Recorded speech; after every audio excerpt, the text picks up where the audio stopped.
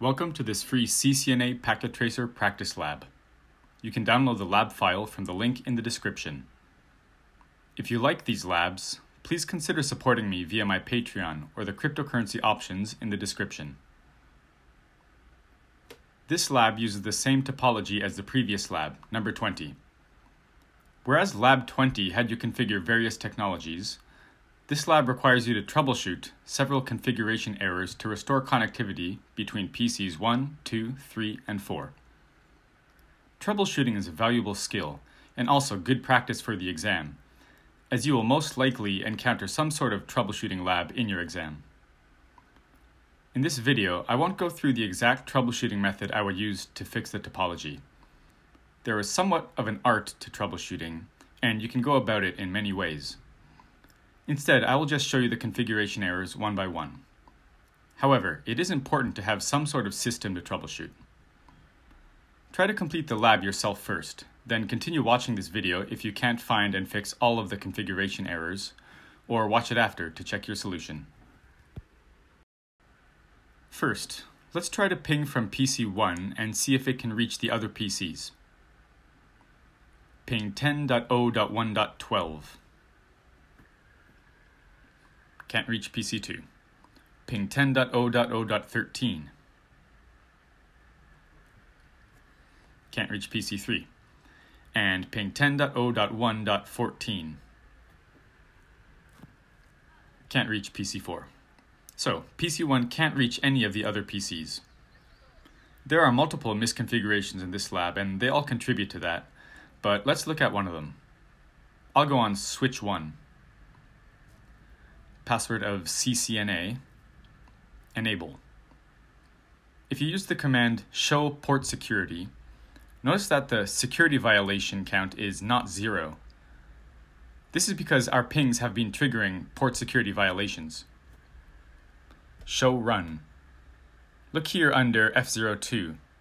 Sticky MAC address learning is supposed to be configured, but instead a secure MAC address of AAAA.AAAA.A8AA is configured. Let's fix that.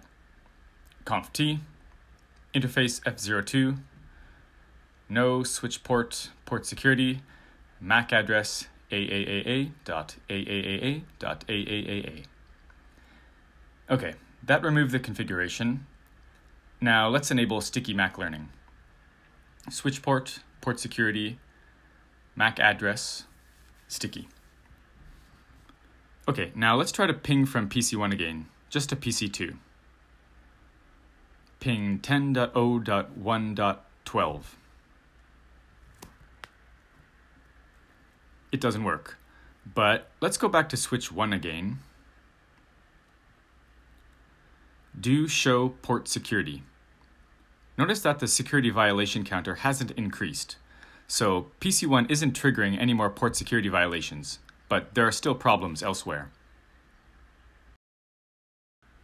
Next, let's check our inter-VLAN routing, since PC1 can't ping PC2.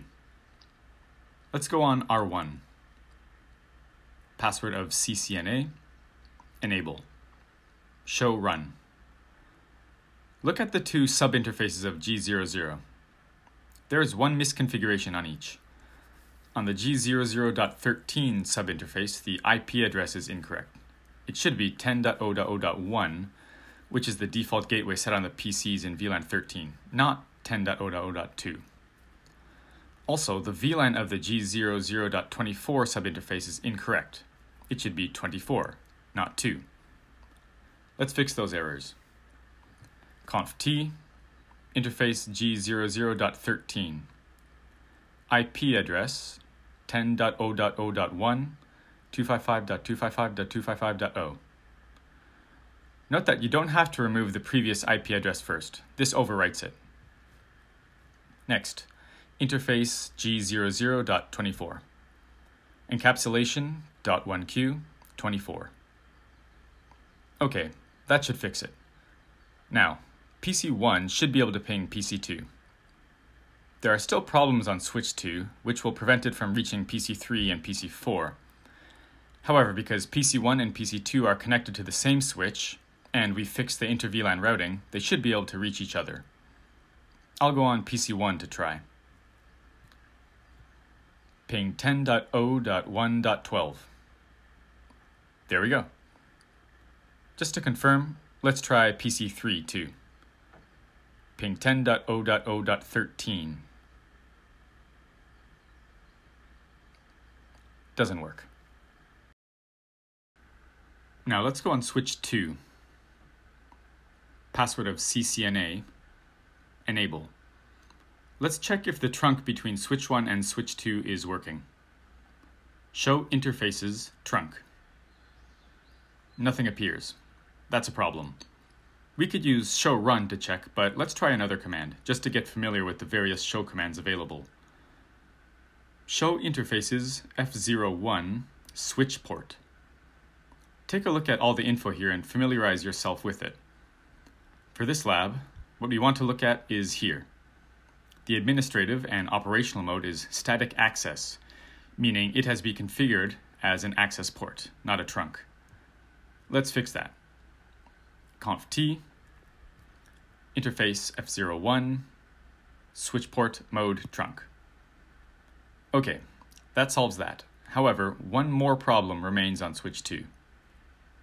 Do show VLAN brief. Look here. F03 is in VLAN 24, as it should be. However, the F02 interface is in VLAN 23, which is not correct.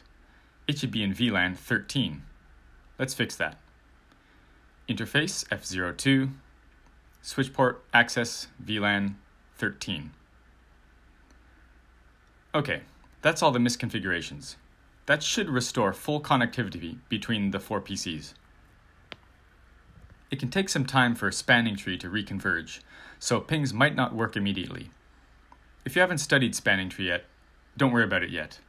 But after changes in the configuration, like we just did, it can take some time for the switches to communicate the changes to each other and for those changes to take effect across the network. Hopefully, enough time has passed, so let's go on PC1 to test. I'll ping PC2 first, although we already tested it before and it worked. Ping 10.0.1.12. The ping works again. Next, let's ping PC3, which didn't work previously because of the misconfigurations on switch 2. Ping 10.0.0.13. Now the ping works. And finally, I'll ping PC4. Ping 10.0.1.14.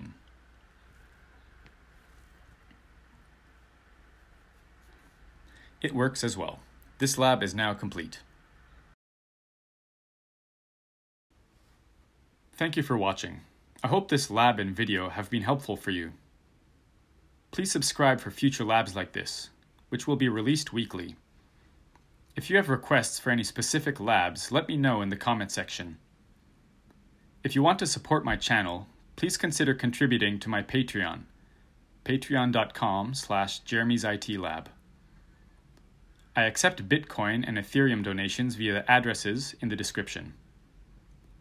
I am also a Brave verified publisher and accept BAT or Basic Attention Token donations in the Brave browser.